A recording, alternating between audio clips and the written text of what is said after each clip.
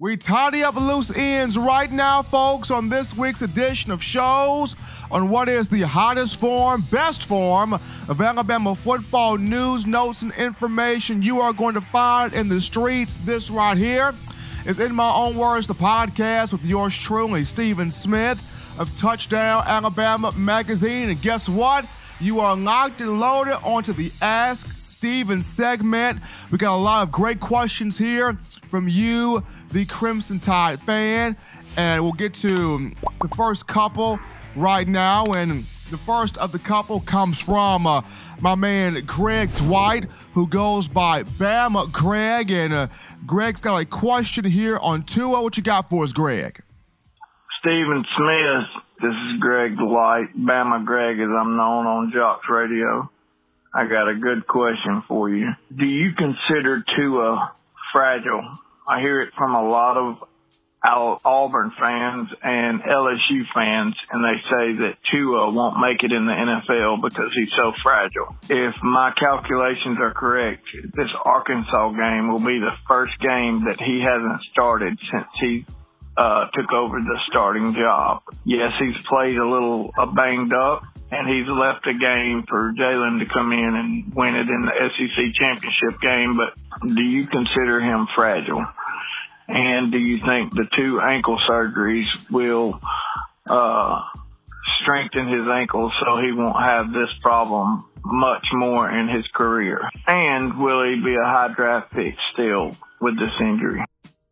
Well, Greg, when I look at Tua Tagovailoa, the junior quarterback for Alabama, I would not consider him as fragile.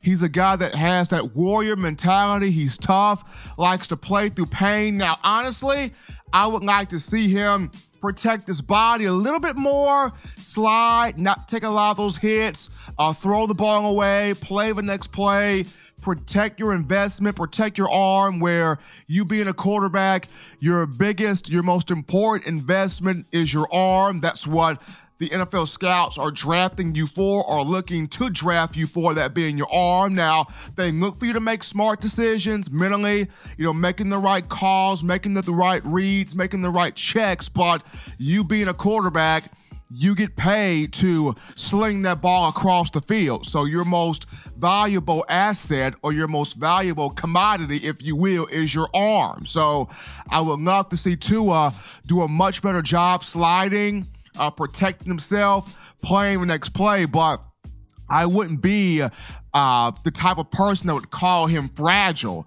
I just feel like he would have to do, or he needs to do, a much better job of protecting himself. That kind of just answers that question. He's tough.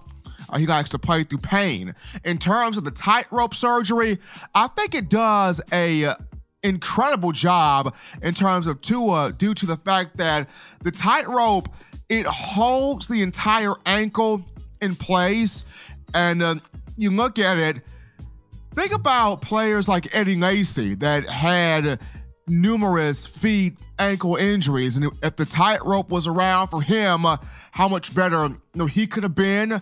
I remember nick saban talking about that cam robinson left tackle former left tackle of the crimson tide was the first one to have this surgery.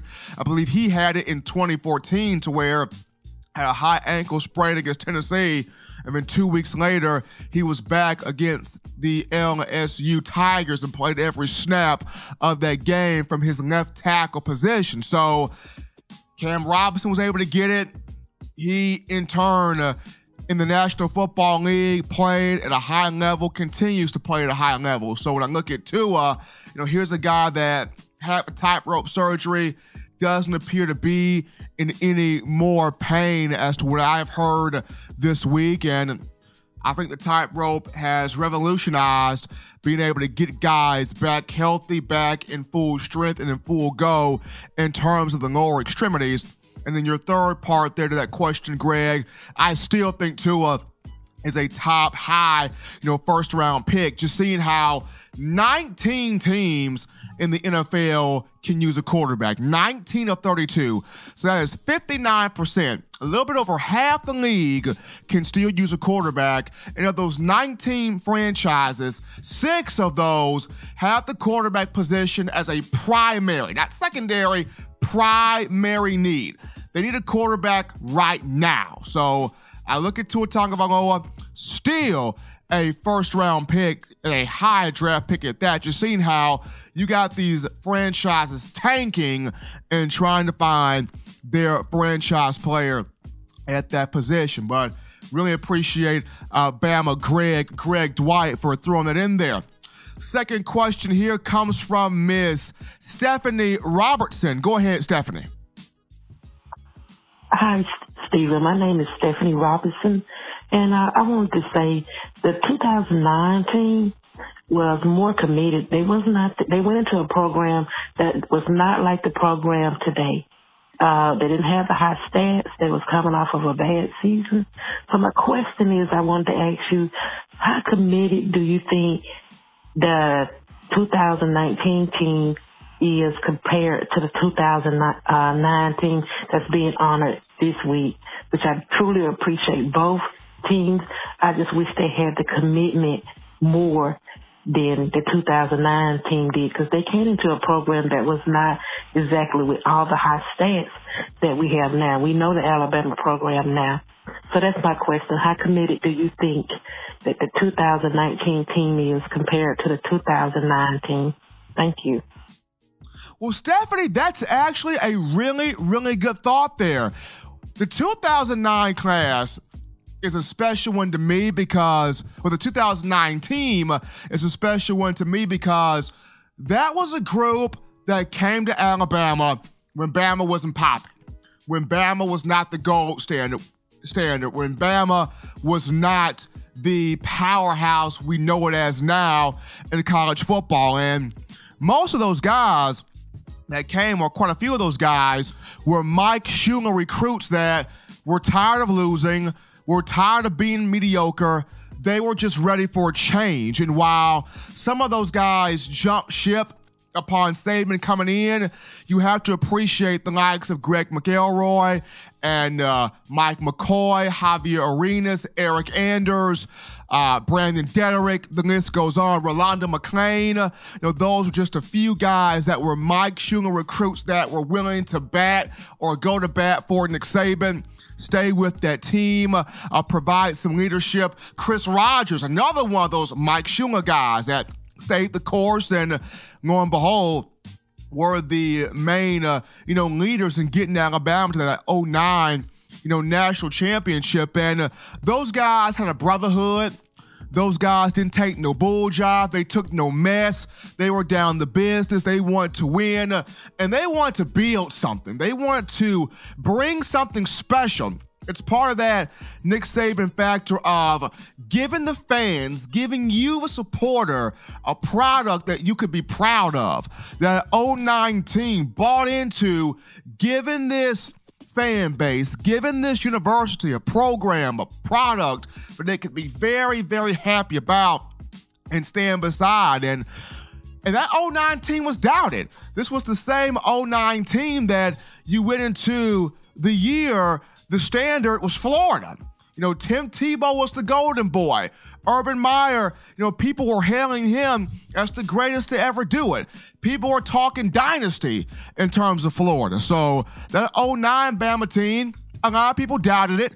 Nick Saban was told prior to taking the job or upon taking the job, it would take him six years to win the first national championship, and he ended up getting the first one in half that time. First one in three years. When I look at this 2019 team, I see a lot of toughness. I see a lot of commitment. I see a lot of dedication. You know, of course, it's young. And uh, when you're playing seven true freshmen, keep in mind, you know, in years past, Alabama would play freshmen because uh, you couldn't keep the guy off the field.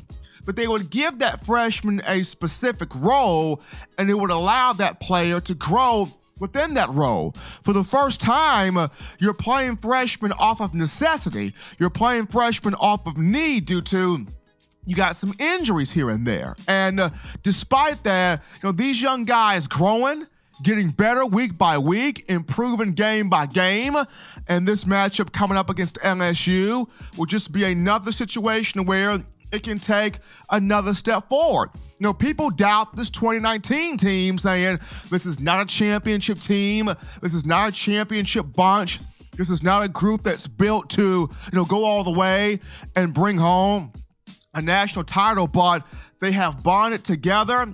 They have hung out with each other. This is a hungry group. This is a group that's not paying much attention to, you know, social media. Not a lot of these guys are posting things on Twitter at a, you know, serious pace. They are focused on the game. They are focused on football. They're focused on winning and not just the players, the coaching staff too. Very veteran group that's you know, uh, their mindset is pushing these guys to get the maximum effort out of all of them. So I see a lot of the 2009 tendencies in this 2019 group, Stephanie, and uh, I really feel like this group has a chance if it continues to improve and grow like it's been doing. You will see this group more than likely in the college football playoff national championship game competing for a title. But definitely want to appreciate uh, Greg Dwight and Stephanie Robertson for those questions and uh, want to encourage you the Crimson Tide football fan, if you got questions, if you got thoughts, if you got concerns about your team, the Alabama Crimson Tide, I encourage you to drop me a line. 205 259 6847. The number to call 205 259 6847. And I will answer your questions live here on the show. But the winner today is Greg Dwight. Bama Greg, you, my man, you have won the first edition of the Ask Stephen segment. So you will get the gift card or the um the the uh yeah the gift card courtesy of Milo's Hamburgers in Tuscaloosa. So my man Bama Greg Greg Dwight, you will get that free shake from Milo's, and you'll get a chance to meet yours truly live at Bryant Denny Stadium this weekend as the Crimson Tide takes on LSU.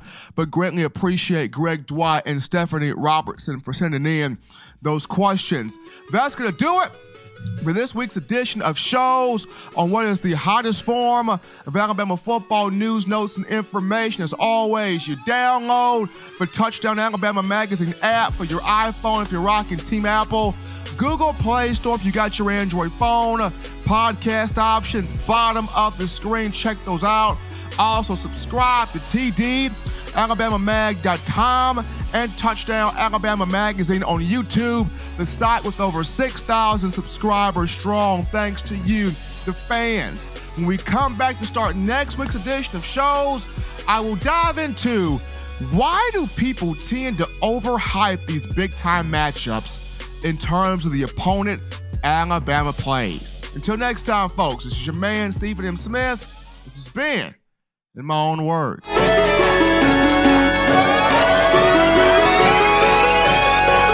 Up, college football fans? You can catch the hottest show in the streets, that being In My Own Words, the podcast, every Tuesday, Thursday, and Sunday. Subscribe to Touchdown Alabama magazine for the best in Tide football.